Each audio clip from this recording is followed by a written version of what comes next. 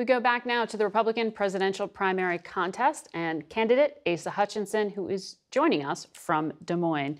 Uh, you were, sir, a two term governor. You helped found Homeland Security. You ran the DEA. You were a member of Congress. But Donald Trump has remade your party. Um, how do you define who your supporters are? Well, first of all, you're correct. Uh, he has redefined uh, the Republican Party and not in a good way. And uh, whenever you look at what I'm trying to do is draw attention to the fact that Donald Trump is a, a weak candidate for us uh, going into the general election. I think the CBS poll that you uh, cited today reflects that.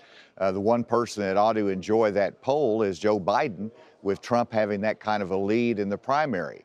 My responsibility and other candidates is to take on the front runner if you don't agree that he's the right one. We've been doing that, and there might be a short term price for that, but long term, fear, uh, fear mongering, and grievances only take you so far. And so that is uh, the sign of a weak candidate as you go further into this election year. So the voice is critically important uh, to alert people that we can't mislead our voters and say January 6 was uh, somehow uh, a patriotic act. It was an attack on our Capitol, the rule of law, and Congress. And we cannot buy into that misleading by Donald Trump.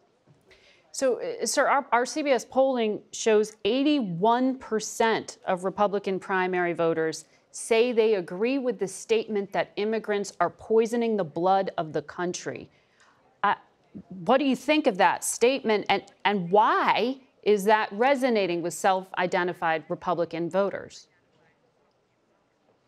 Well, because there's incredible concern about the border. Uh, it, as you talk to voters here in Iowa, their number one concern is the economy. Equal to that is border security. And so uh, I don't like his inflammatory language. I would never use that. Uh, immigrants are important to our country, but we have to have the legal process, and people are upset uh, with the Biden administration and the porous border. That's why I can make the case effectively that I'm the only one running for president who's actually had that responsibility of securing the border. That resonates as well. And I would rather talk about it in terms of what we need to do versus uh, the pejorative rhetoric that really uh, misleads people and hurts people.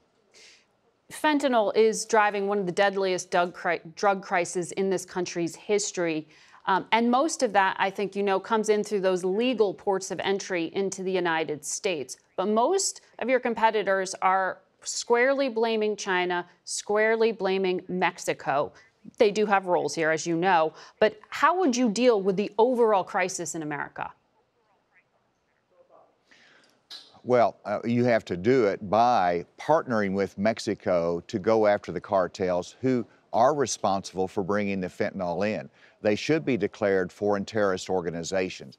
But your point is very well taken.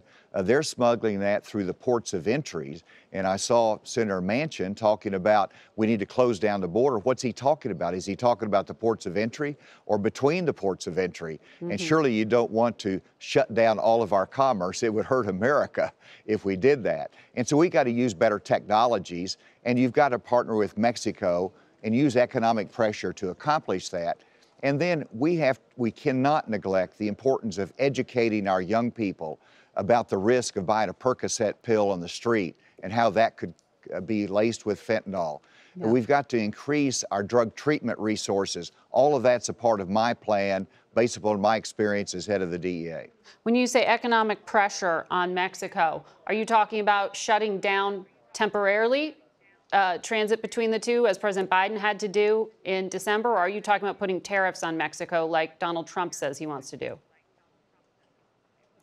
Well, neither. We're going to be returning uh, manufacturing uh, back from uh, China, and uh, the president can help lead and say some of that's going to wind up in Mexico, and our economic partnership's important. But as president, I will discourage that return of manufacturing to Mexico if they don't support the rule of law and partner with us. So there's a different different levels of economic pressure, and sure, I think that we uh, have to take strong measures to get their attention to mm-hmm. help us. But I think you can do that without hurting American businesses that rely upon that cross border commerce. All right. Asa Hutchinson, Thank you for joining us today.